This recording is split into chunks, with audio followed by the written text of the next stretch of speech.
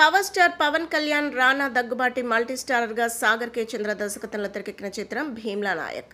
భారీ అంచనాల మధ్య గత నెల ఇరవై ఐదున థియేటర్లలో విడుదలైన ఈ చిత్రం బ్లాక్ బస్టర్ హిట్ టాక్ తెచ్చుకొని భారీగా కలెక్షన్లను రాబట్టుకుంది.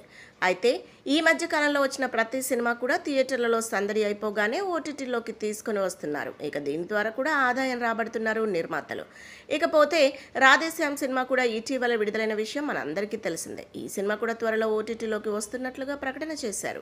ఇప్పుడు భీమ్లా నాయక్ విడుదలయ్యే టైం వచ్చేసింది. అయితే ఈ చిత్రం ఎప్పుడెప్పుడు ఓటీటీలోకి వస్తుందా అని ఎంతగానో ఎదురు చూస్తున్న ప్రేక్షకులకు గుడ్ న్యూస్ వచ్చింది.